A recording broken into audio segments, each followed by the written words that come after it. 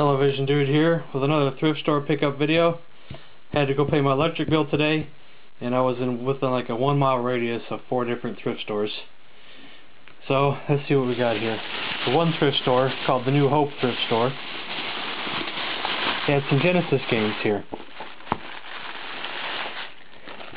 Chuck Chakan or Shakan or whatever. Boxed with instructions.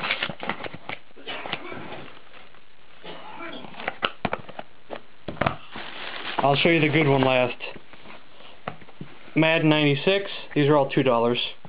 I'm not sure if I had Madden 96 or not. I actually may have had it, but I don't didn't have the manual box instructions and this giant uh, NFL scouting report. So that was cool. I think that's worth getting another copy of it. Eternal Champions, I own this too, but I'm almost positive I don't have the box or instructions. So, if I did, I'll sell it, and I'll probably end up selling the loose copy. If I don't. And finally, for two bucks, this was well worth it. Mutant League Football. If I remember correctly, this is like a 10 to 15 dollar game. If I'm correct in that. Let's see, we got the manual, the instructions. Says there's two free cards, but I bet those aren't in here.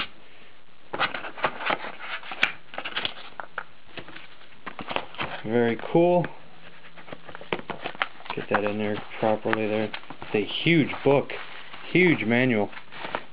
Been wanting to own this one for a while, and Mutant League Hockey. I think hockey goes for more. It says free inside two collectible trading cards, but the kids probably took those. And I got something possibly for my roommate if he wants it. It is it's a PC game called Dracula: The Last Sanctuary. Sweet. System requirements: Windows 95, 98, and ME. yeah, well. Uh, Pentium 166 megahertz, 32 megabytes of RAM. Gee, I don't know, man. You don't know about that one? I don't know. Where did I go next? Let's see. We went to Goodwill next. Even though I just went to Goodwill Saturday, I decided to go there again. Well, actually, actually, my unemployment check. We won't show that one. we'll start with the button first. A Madden 06 Walmart tournament button. This is probably worthless, but in 20 years from now, someone's going to be like, man, I've almost got my, my tournament button collection complete, but I need that Madden 06, and I can't find it anywhere. How much did I pay for the button? Uh, that's not the receipt. that was my electric bill receipt. That's what I went there for. Uh, I think it was, uh, uh, might not have even charged me for it. No, 10 cents I think maybe. 10 cents was for the tax. I think she gave me the button for free. Okay. I got a uh, Viewmaster. Not the same Viewmaster I owned when I was a kid, but I thought I'd get one anyway because it's kind of cool. I have no cards to put in it. I used to have the old one from the 70s, that version. But for 99 cents, I thought it'd be a cool thing to show off in the video. Aerodynamic. And we got here a Scooby-Doo plug and play. The Mystery Machine. I only paid 99 cents for this at Goodwill. My Goodwill normally never has plug and plays. But while I'm sitting here, let's see if it works. Let's see here.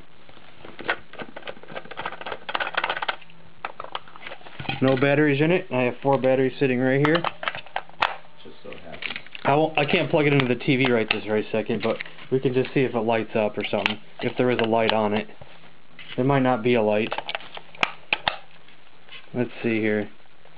Yep, the joystick lit, lights up. If you can see that. Yeah, the joystick lit up, so that means it works. Boom. That means it'll probably work when I plug it in. Yeah, another thrift store, just got a couple uh, odds and ends. This, for some reason, looked old. It looked old, so I thought it possibility that it could be worth money. It's just a toy. But it looks like something from like the 70s or something. But may maybe they still make toys that look like that today, and it's just dirty. It- Maybe it's just a modern dirty toy, but it looks like something that I would have had from the 70s or something. There's really no there's no date on it. It just says made in China, CE. It says maybe maybe I wasted my 99 cents. Maybe I didn't. And I needed another set of these, so just some uh, AV cables. Look like they haven't been used because they're still got the looks like the original uh, tie tie on there. It doesn't look like it's ever been touched or tampered. I needed a new pair of those. And finally, I went to GameStop and I got me. I know everybody's boycotting GameStop these days, and I understand that too. But I got me Intellivision Lives.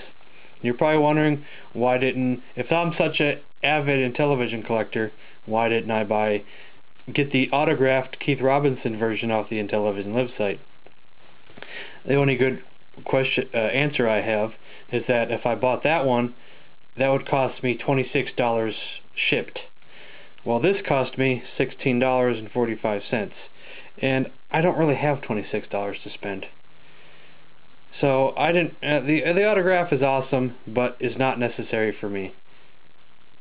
Because it's cool to have an autograph copy, but uh, since I'm an Intellivision collector, I'll never be wanting to sell it, and the autograph just makes it worth more to sell. I think. I know it's cool to have on your shelf an autograph copy, but knowing my luck, the autograph would smear or fade off the cartridge, uh, the box or something over the time anyway. It's okay. I've been wanting to play this, so let's open it up real quick here. See what we got here. Got the cart, brand new. Instruction manual, brand new. Got all kinds of games on here. See if it's got the list of the games. It might not have the whole list. You might have to just put it in. The list is on the website, though. I've seen it on the Intellivision Lives website. Yeah, it's got a whole list here, plus many more. I can play Super uh, Super Spike Volleyball, Stadium Mud Buggies, those super rare games. Super Pro Decathlon, game I haven't had, don't have yet, and a bunch of others that I don't have. Be cool if they had Burger Time and stuff. That'd be cool to play on the uh, DS. But uh, that is everything. So uh, I think I did pretty good today. And that'll probably be my last spending spree until I get my income tax check. Because I don't really have any more money to spend on anything right now. Nothing at all. And I just joined a couple book clubs. When I get my books from the book clubs, I'll do a video on those too. And uh, I guess that's everything, so uh, thanks for watching.